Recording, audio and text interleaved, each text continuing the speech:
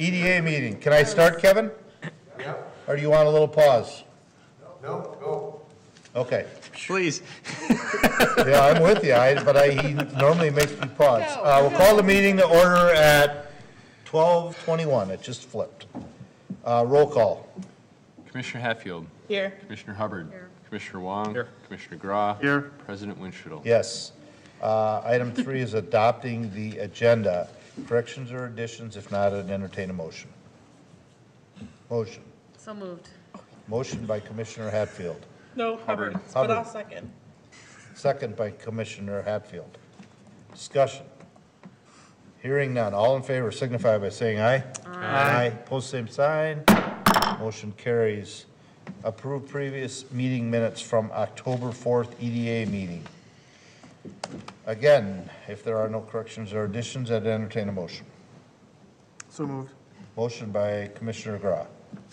Second? Second by Commissioner Hubbard. Discussion. Hearing none, all in favor signify by saying aye. Aye. Aye. Post same sign. Moves to item five, authorize president and executive director to sign a purchase and redevelopment agreement with the Carver County Community Development Agency for Ernst House project. So I'm going to turn this over to Nate, since this is his last night as Assistant Administrator, uh, Economic Deve- Development Coordinator. But I also want to just quickly recognize Elise Durbin for being such a patient, such a patient person tonight. So with that, I was trying to figure out when this bomb is gonna drop, what she's here for. Oh, just wait, you think we're done? Another two hours later. Yeah. I, I feel much better now. Well, President, Commissioners, this is an item that was also on the consent agenda item for the council meeting this evening. Um, This is a purchase and development agreement for the redevelopment of the Ernst and S House, which is located at 211 and 217 Walnut Street. Uh, The Ernst House stands today and would be redeveloped into, by the CDA into a single-family home. The S House no longer exists and is a vacant lot. Um, And the CDA is proposing to uh, put three homes onto that location. And you will see that concept plan in January, yes. Um, Come, come in front of the planning commission and in front of you as well. Um, But for tonight, we want to get the purchase and development agreement in place so that they can indicate, um, you know, site control uh, ahead of their uh, entering into the planning process. There is a TIF district that was approved and put into place uh, by, by the city. Um, When was that? Last year. Um, And so there would be a TIF contribution uh, into that project. We're also talking about putting into, uh, on the cities and the EDA side, uh, contribution from the Housing Trust Fund. And then also uh, dollars that have been obtained through the CDA's Growth Partnership Initiative Grant. Um, So that ends up being the, the city's contribution to the project. The CDA would be agreeing to purchase the property for $400,000 from the city. Um, And then contributing uh, funds that were received through MHFA and Met Council grant application that we jointly worked on. Um, The property would be placed in the Carver County Community Land Trust, so it would be owner-occupied housing, um, basically in perpetuity through the land trust, um, and having the property there. Um, The CDA is also agreeing to contribute some of its own funds into the project, and then also uh, intending to sell the properties, and those proceeds would go towards development costs as well. Uh, So with that, I guess I would open it up to any questions um, from the commission. So, question about the land trust. So when, so someone enters into agreement for uh, occupancy of the unit in the land trust, they would basically be paying into the land trust for use of the property, but at some point, they might understand the structure is designed so that they get some percentage of the equity back that would be useful for, you know, that they would be able to take and apply to some other. Yep. Uh, whoops. How, how much of that would, would they expect to gain from that? There's actual percentage Yeah. that's applied to that, but Yeah. Yes, good evening, uh, Mr. President, Commissioners, Elise Durbin with the Carver County CDA. Uh, Your question, Commissioner, uh, in the ground lease, the uh, homeowner receives 25% of the appreciation. The remaining 75% stays with the, the property itself in order to maintain that affordability for future buyers. So that means that, so if we play it out and say that, let's say that if you, I mean, just we'll use simple numbers, right? So if someone said that, okay, the, the house was hundred thousand dollars when they first occupied it, so it appreciates, let's say it doubles in value over like a certain term, doesn't really matter what the term is, but it doubles in value. So that appreciation is another hundred thousand dollars, and they would retain twenty-five thousand of the hundred thousand. But all throughout that period, they're paying in a certain amount as, uh, as part of into that trust agreement.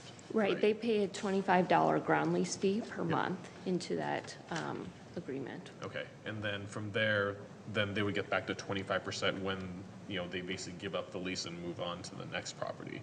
What about the maintenance costs and stuff that go into that too? And because, you know, who's responsible for the cost of the maintenance and for the upkeep? Uh, For the maintenance and upkeep, they are responsible to maintain their home as any other homeowner would. They are also responsible for paying property taxes on that, uh, not only the building, but also the land itself. Um, And additionally, when they go to sell, they would recoup any money that they've paid down on their mortgage, just as any other home buyer would. And I think that's an important point to, it's not just the twenty-five percent, it's what they've actually paid plus the twenty-five percent.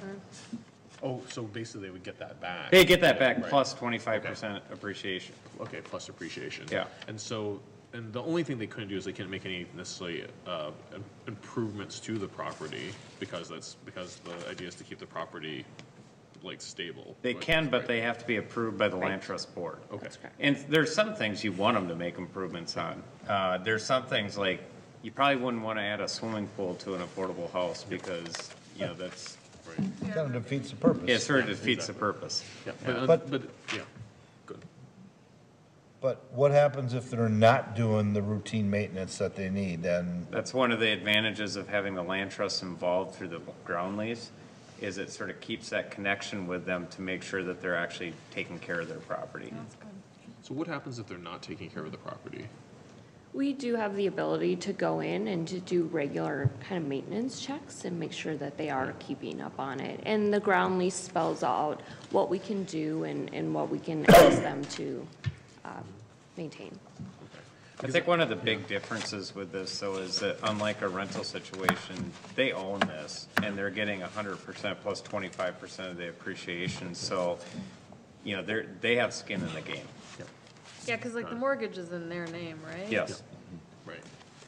Because, and, you know, it's, one of those things, I mean, in the big scheme of things, I, I think, you know, it's a, it's a really good program to try to, you know, to, as kind of almost a Kickstarter for people who don't have the ability to save up for, um, you know, a down payment on a home, to get them in that first home, so that way they can actually get going with that.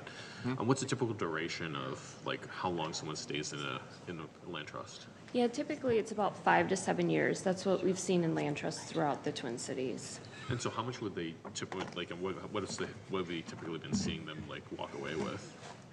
It just depends. It depends on when they actually sell um, and what they, they bought it for. It depends on the property too and what the Yeah. valuation is, so, yeah, okay. So, I mean, at some point we could have a conversation offline about, you know, just kind of just, because I'd be interested just to understand the, the valuation, because I, I think overall the model is a good model, but I've heard some, some not so good stories from other communities that maybe manage their land trust differently than we do. Mm-hmm. And I'd just like to understand more about ours, because some of those, you know, s- it seemed, I've heard some frustration from people who live in, in land trust, where they feel like, you know, like I'm paying a lot of money and I'm not, and if I sell it, I'm walking away with almost nothing still compared to my neighbor next door, right?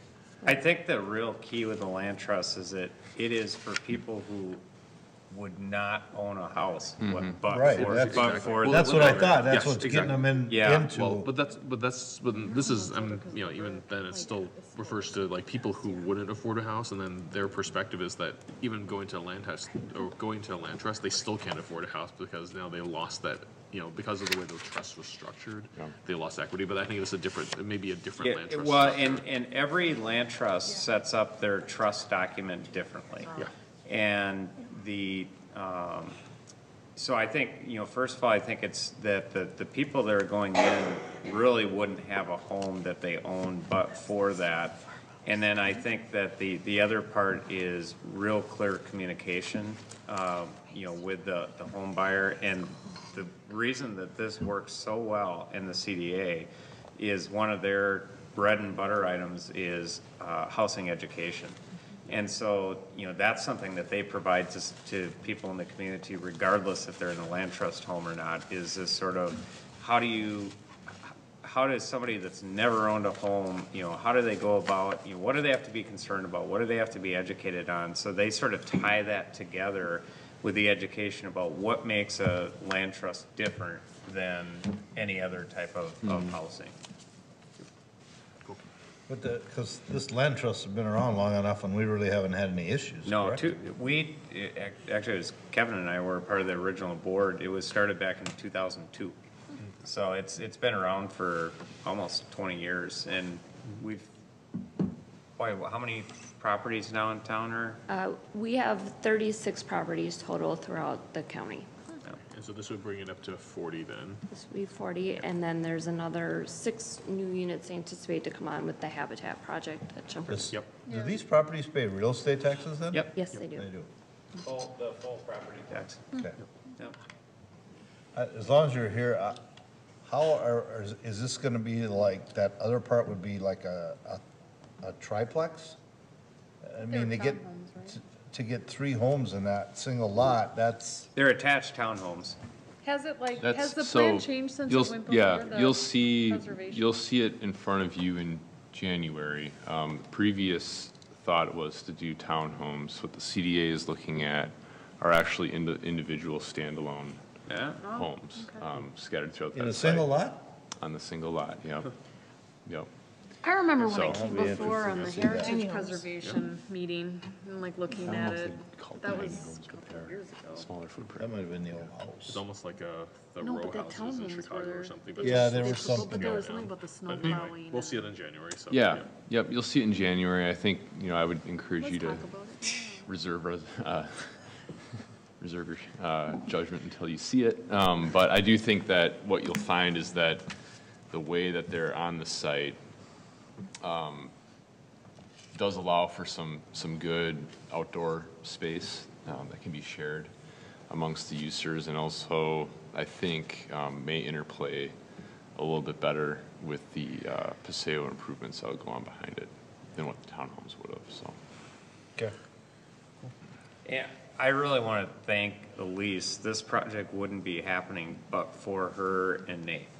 So I'll thank you too, Nate. Um, but, uh, I mean, Mostly to Elise. yeah, but I, I mean, I only say that because this has been, what, five, six years in the making. I mean, this, this has I'm been. surprised we don't get more noise about it, the railing I'm- falling off. Yeah, I mean, it, i- it is, I would say that small. Downtown people are different. You don't get it. We don't mind a little railing falling off its character. it- It's the smaller the project sometimes, the harder they are to do. And they've done a great job of coming in and providing a model for us to be able to move forward and I think create something that'll be really nice here. Are we getting, um, most of our return back? Yep, that's part of the structure of the deal is Yeah. that we get our return back for what we put There are into some it. people that said it cost us three million dollars to move that house. We're getting three million dollars? If that were true, then we are not getting our return. Yeah, if that's true, we're not getting our money That's back. not true. I'm not making it up, but that's okay. Yeah. I know, I know better. Yeah. So, all right. Well, I, thank you for this painstaking meeting to sit through the whole Yeah. thing, so. Do you want a cookie? Have a cookie? All right, um, any other questions regarding authorizing the president and executive director to sign the purchase agreement with Carver County Community Land Trust with Ernst House? Hearing none, uh, is there someone that's willing to make a motion to do something? So moved? Motion by Councilmember Wong, uh, Commissioner Wong, Second. second by Commissioner Hubbard. Discussion. Hearing none, all in favor signify by saying aye. Aye. Post same sign. Motion carries. Moves us to B, uh, adopt resolution EDA 2021-4, adopting the 2022 EDA budget and property tax levy payable 2022.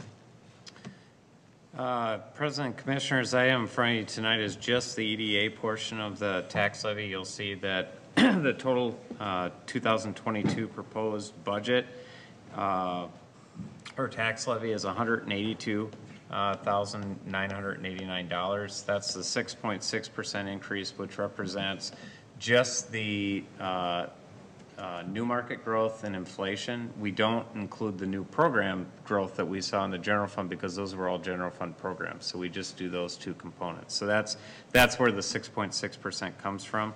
Uh, Again, that was included in the whole uh, number for comparison with other uh, cities. So we are recommending adoption of the EDA budget as well as the tax levy for 2022.